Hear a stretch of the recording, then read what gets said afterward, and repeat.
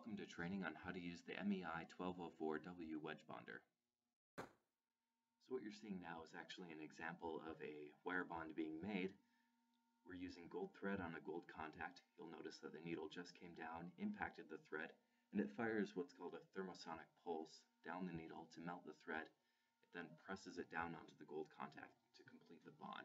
So we've just made an A bond here and after an A-bond is made, the needle lifts back up, spools out more thread, and we're able to move the needle in position over another gold contact and depress it again down into that contact to fire a B-bond.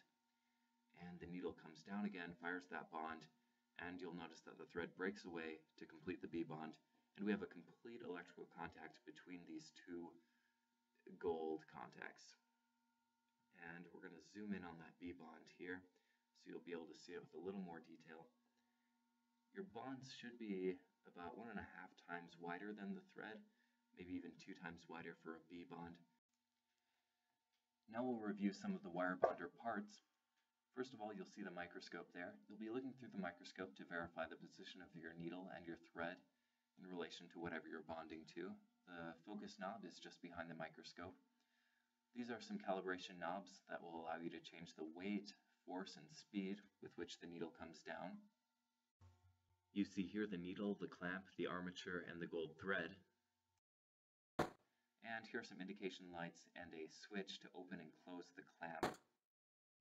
Now if we come around to the front to look at the needle, you'll see the needle set screw. It's that hex screw coming right out of the front of the part that holds the needle. You can turn that to adjust the needle height or to put in a new needle if you need to. And right here you see the thread spooling over the top of the spindle down into the armature and through the clamp and through the needle. And if we come down here you see the micropositioner. Moving the micropositioner will move the position of the needle. Holding the black button will disable the clamp to allow you to make continuous bonds. And pressing the silver button will lower the needle and automatically make a bond. There's the power switch and here's the workstage heat control. This allows you to adjust the temperature of the hot plate on which you place your sample. Here are the A bond power and time controls and B bond power and time controls. These allow you to adjust the power and time of the thermosonic pulse, which is fired onto the needle. Here's the heated workstage or bonding platform.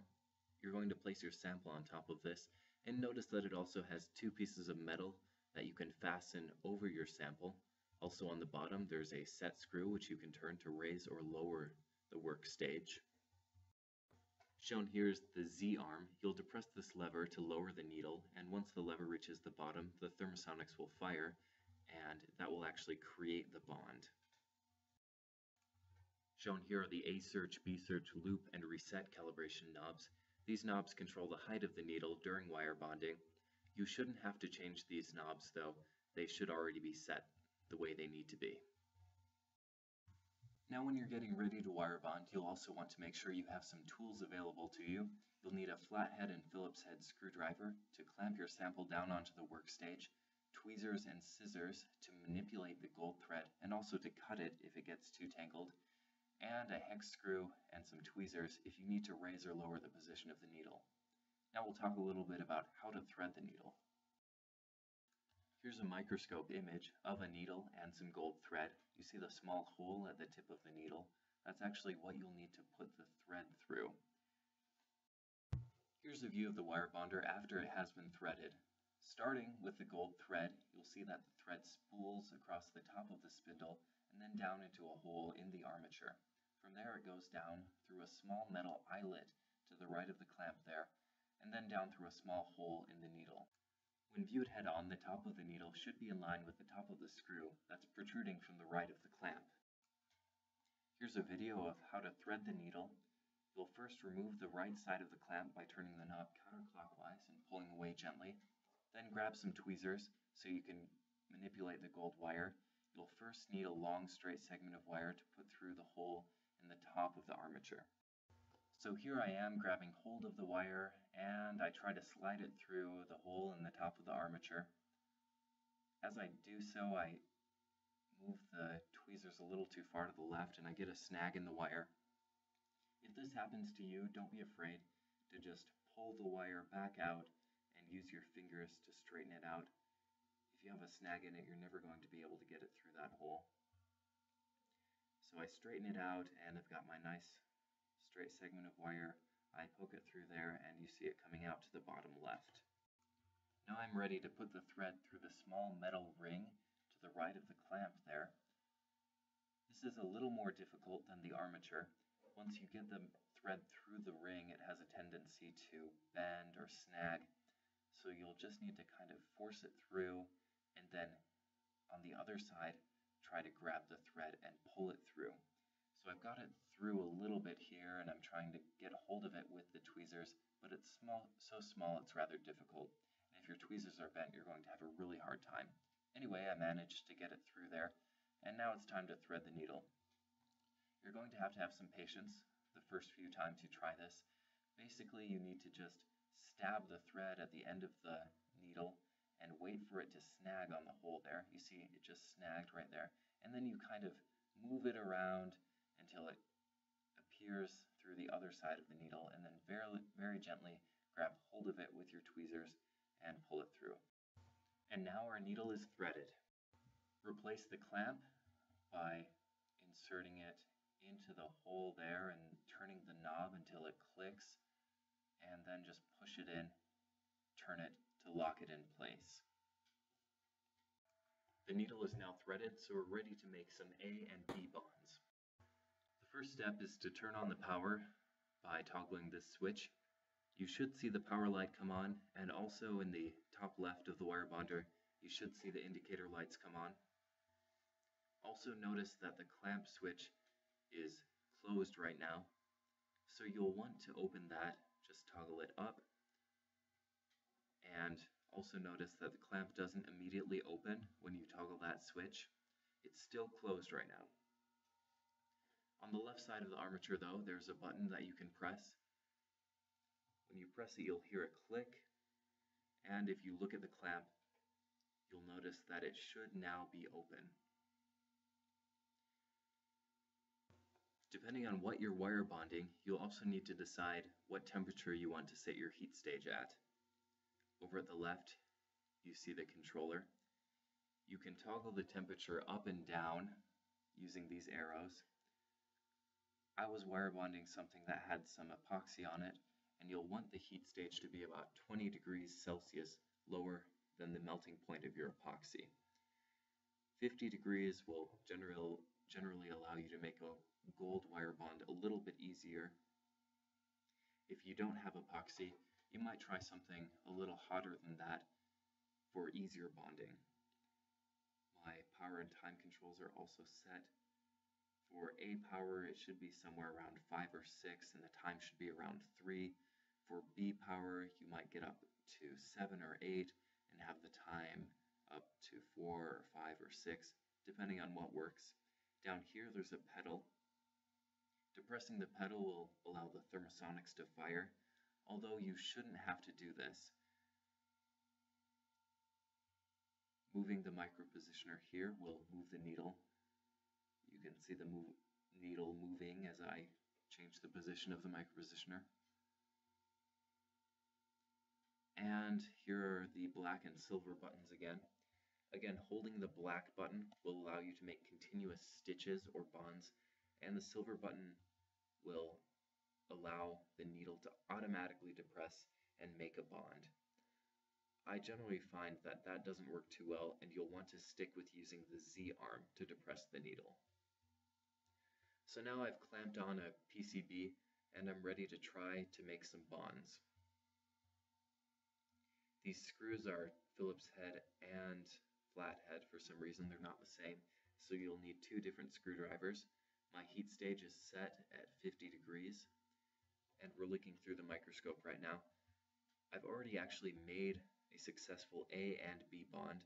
There's a small loop of wire in the center of the screen right now, and we're going to try depressing the needle to make another bond. The needle comes down squarely on top of the thread, which is good, but it looks like it was too powerful. Something happened and the thread just broke when I tried to bond it. We're going to do some troubleshooting to see if we can solve the problem of it not bonding. One of the things to check is to make sure your thread is going straight through the quartz pad of the clamp and then through the end of the needle. To do this, take the right side of the clamp off and then you can turn the spool back to pull the thread through just to make sure that it's going straight through that quartz pad. Sometimes it tends to hang below the quartz pad and then come back up through the needle. If that happens, you probably won't be able to get a very good bond. So I've fixed that and now the clamp is back on. We're ready to look back through the microscope.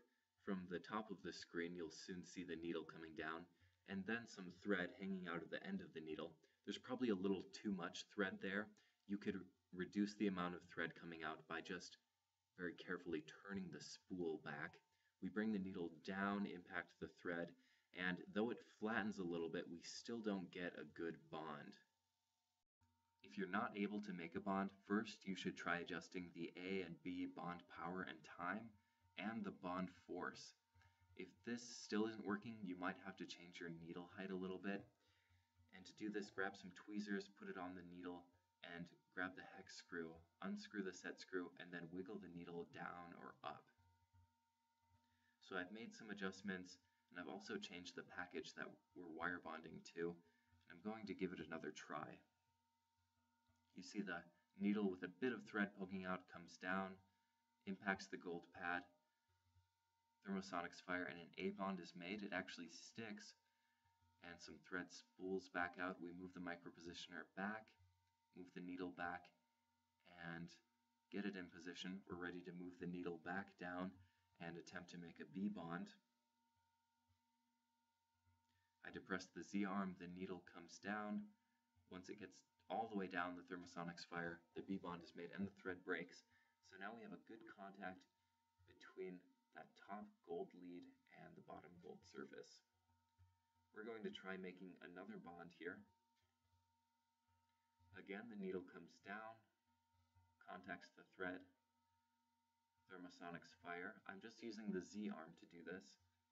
The thread spools back up and we move the micropositioner to move the needle back. You'll always need to move the needle straight back. You see the needle went a little bit to the side there. That's because I was holding the camera with my right hand and moving it with my left hand. Okay, now we're over another gold lead. The needle comes down. The thread is actually a little bit too far to the right here, but it still works. And the thread breaks off. So we've got a complete A and B bond between those two gold leads. So that was a successful bond. Again, if you're not able to get a bond, first try adjusting the A power, B power, increase them if the bond isn't sticking, increase the time, increase the bond force. And if nothing's working, then you might try adjusting the needle height or perhaps first try adjusting the screw in the bottom of the workstage to change the workstage height. I'm going to pull off the back casing of the wire bonder to show you some calibration marks that have been put there. These long gold rectangles that you see correspond to the position of the calibration knobs for dual weight, bond force, and speed. Also, there are some X's drawn, and that's where the wire bonder has been calibrated to previously. So if nothing is working and you need a place to start, you might try turning the bond force and weight so that the gold rectangles are in line with those X's and those lines drawn there. Generally, if the bond isn't sticking, you'll want to increase the bond power and bond time as well as increase the dual weight and bond force. You shouldn't have to change the speed at all. If the needle comes down and the thread breaks when it impacts, then you'll want to lower the bond force, lower the A power, B power, as well as A time and B time. And you just need to play around with these settings until you get a bond that works. When you're done using the wire bonder, go ahead and turn the power switch off. The power light will also turn off. And in the top left, you'll see the indicator lights turn off. The clamp will automatically close shut to help the needle to stay threaded.